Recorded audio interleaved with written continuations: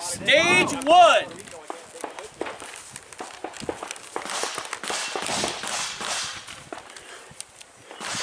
The Silver Mine. We got two here.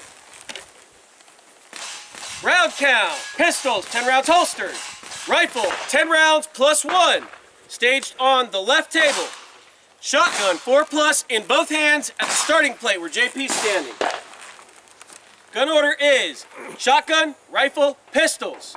Procedure, standing with the shotgun in both hands. That means gripped, none of this stuff. And one foot on the start plate. The start line is, oh no, a reload. I should be good at those.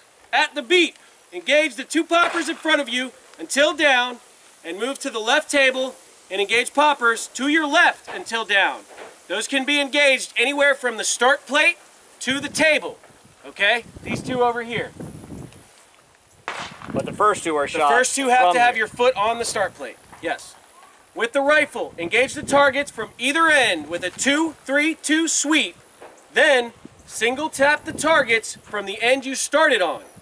Reload one round from the body and engage the white target.